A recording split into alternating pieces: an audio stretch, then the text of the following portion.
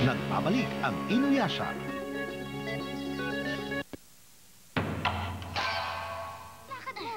Masama.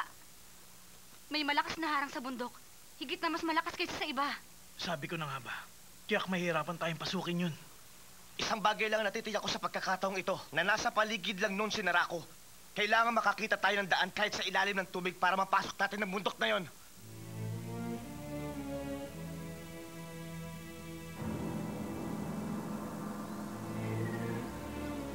Niyo na. Isama niyo na ako sa lawa. Mahirap na. Isa pang tungkulin mo bilang anak ng pinuno